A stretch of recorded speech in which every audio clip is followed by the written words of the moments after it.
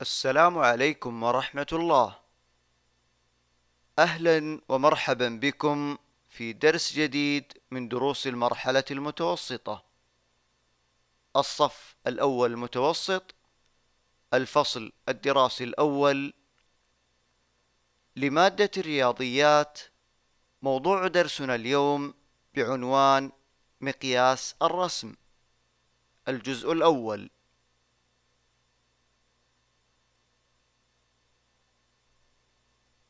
سنتعلم اليوم بمشيئة الله حل مسائل تتضمن مقياس الرسم.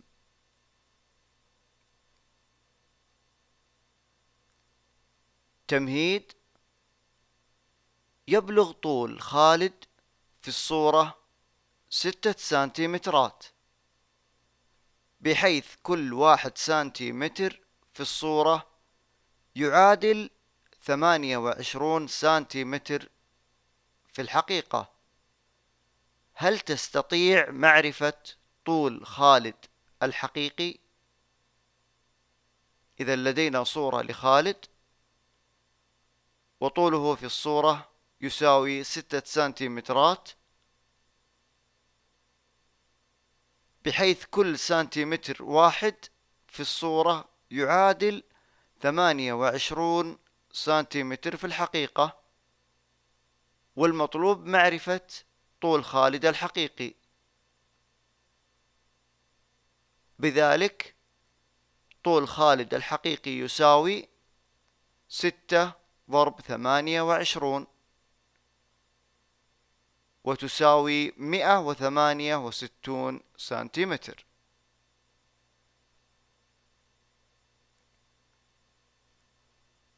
مثال مسألة خرائط. ما المسافة الفعلية بين مكة المكرمة وجدة؟ الخريطة المجاورة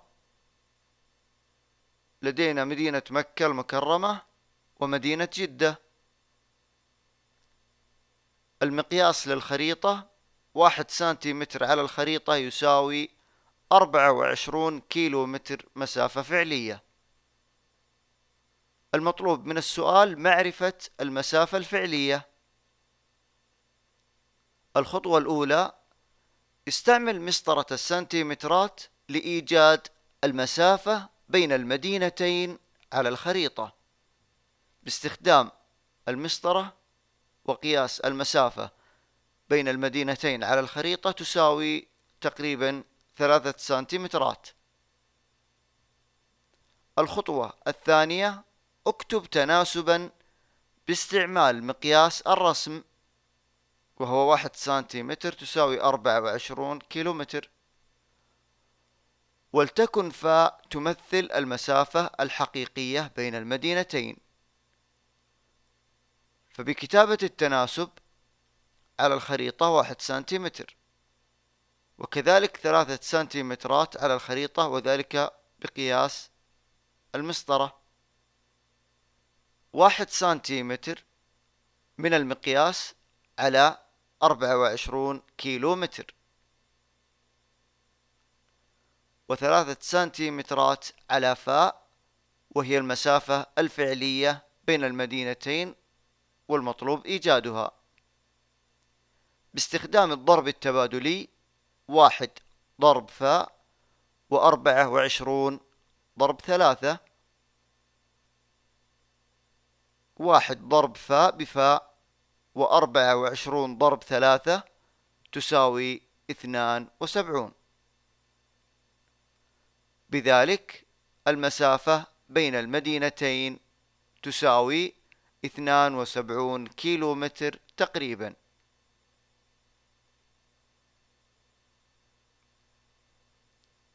المثال التالي لمسألة أرضيات. مخطط إحدى الأرضيات مقسم إلى مربعات. طول ضلع كل منها نصف سنتيمتر. ما الطول الفعلي للأرضية؟ إذا لدينا مخطط لإحدى الأرضيات كل مربع فيه بنصف سنتيمتر المطلوب معرفة الطول الفعلي. الطول على المخطط كل مربع بنص إذا نصف واحد واحد ونصف اثنان.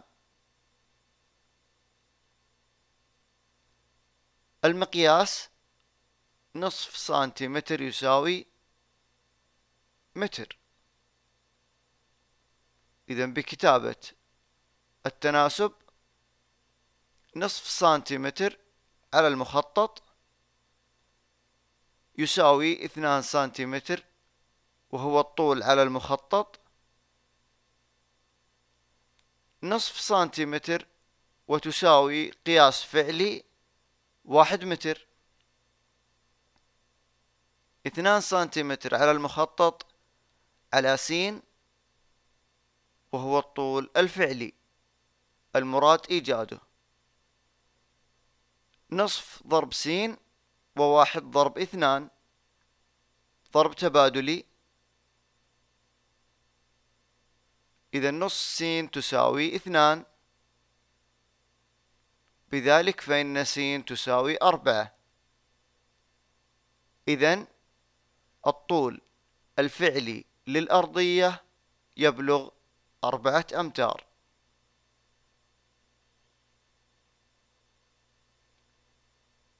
المثال التالي مسألة خرائط. على الخريطة المجاورة أوجد المسافة الفعلية بين مدينتي أبو ظبي والعين. استعمل مسطرة للقياس. المطلوب من الخريطة المجاورة معرفة المسافة الفعلية بين مدينتي أبو ظبي ومدينة العين. مقياس الخريطة واحد سنتيمتر يساوي أربعين كيلو متر مسافة فعلية. فالخطوة الأولى لدينا باستخدام مسطرة وقياس المسافة بين المدينتين وتساوي تقريبا ثلاثة سنتيمترات. ثم بكتابة التناسب واحد سنتيمتر تساوي ثلاثة سنتيمترات على الخريطة. واحد سنتيمتر من خلال المقياس تساوي أربعين كيلو متر. ثلاثة سنتيمترات المطلوب معرفة كم تساوي مسافة فعلية. بالضرب التبادلي واحد ضرب س وأربعين ضرب ثلاثة. واحد ضرب س بس أربعين ضرب ثلاثة بمئة وعشرين. بالتالي فإن المسافة الفعلية بين مدينتي أبو ظبي والعين 120 كيلو متر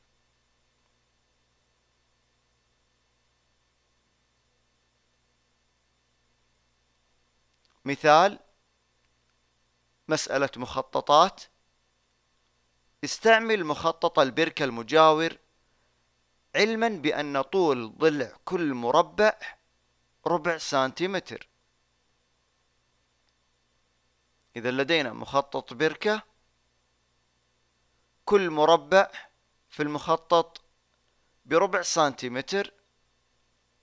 المقياس للمخطط ربع سنتيمتر في المخطط يساوي متران طول فعلي. السؤال الأول ما العرض الفعلي للبركة؟ لتحديد العرض للبركة بعد المربعات واحد اثنان ثلاثة أربعة خمسة ستة. وكل مربع طول فعلي يساوي متران. إذا العرض الفعلي للبركة يساوي ستة ضرب اثنان وناتج ذلك يساوي اثنا عشر مترا. السؤال الثاني ما الطول الفعلي للبركة؟ بعد المربعات واحد اثنان ثلاثة أربعة خمسة ستة سبع مربعات في المخطط. وكما ذكرنا كل مربع يساوي متران طول فعلي. إذا الطول الفعلي للبركة يساوي سبعة ضرب اثنان يساوي أربعة عشر مترا.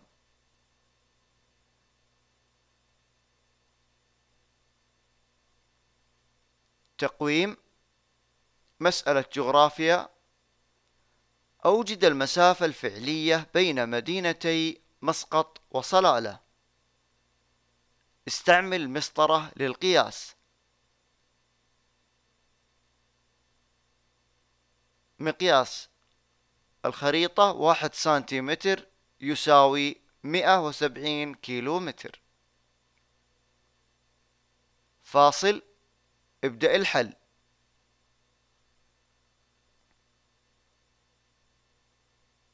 الخطوة الأولى تحديد المسافة بين المدينتين مسقط وصلالة باستعمال مسطرة للقياس وتساوي خمسة سنتيمتر ونصف تقريبا. الخطوة التالية هي كتابة التناسب واحد سنتيمتر من المقياس تساوي خمسة ونصف سنتيمتر وهي المسافة على الخريطة. واحد سنتيمتر على مئة وسبعين كيلو متر من خلال المقياس. يقابلها صاد وهي المسافة الفعلية بين مدينة مسقط وصلالة. باستخدام الضرب التبادلي واحد ضرب صاد ومئة وسبعين ضرب خمسة ونصف واحد ضرب صاد بصاد ومئة وسبعين ضرب خمسة ونصف تساوي تسعمائة وخمسة وثلاثين.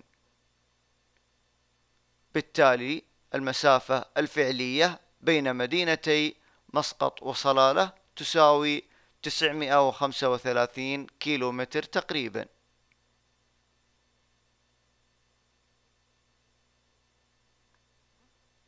تقويم ما الطول الفعلي للصالة في مخطط الشقة السكنية المجاور. إذا علمت أن طول ضلع كل مربع هو ربع سنتيمتر. إذا لدينا مخطط لشقة سكنية والمطلوب معرفة الطول الفعلي للصالة بحيث أن كل مربع هو بربع سنتيمتر. وأن المقياس واحد سنتيمتر يساوي أربعة أمتار. فاصل. ابدأ الحل. أولا بإيجاد الطول على الخريطة. كل مربع بربع. إذا واحد. ونصف. واحد سنتيمتر مقياس تساوي واحد ونصف سنتيمتر الطول. على الخريطة. واحد سنتيمتر على أربعة أمتار من خلال المقياس. فتمثل الطول الفعلي للصالة بالضرب التبادلي. واحد ضرب فاء وأربعة ضرب واحد ونصف. واحد ضرب فاء بفاء وأربعة ضرب واحد ونصف تساوي ستة. بالتالي فإن الطول الفعلي للصالة يساوي ستة أمتار.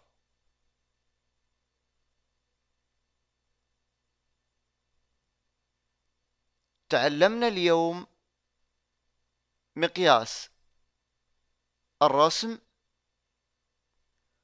وتم في بداية الدرس عرض استعمال مقياس رسم الخريطة وتلا ذلك شرح لاستعمال مقياس المخطط.